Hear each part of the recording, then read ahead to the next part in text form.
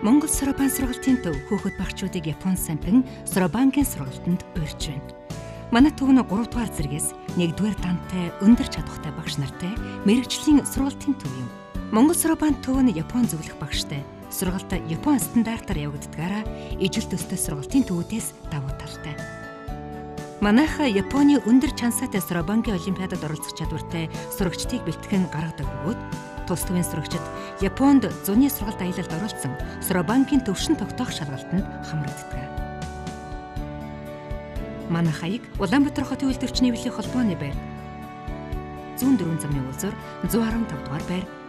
Хятадын элчин сайдын яамны баруун хойд талын GB төвийн салбар 50 дугаар сургуулийн зүүн талын 62 дугаар байр. Эрдэнэт хотын их мандал төвийн 1 дугаар давхарт. Хүсэл мөрөөдөлтэй, эрдэм мэдлэгтэй Монгол хүүхэд Монголын ирээдүй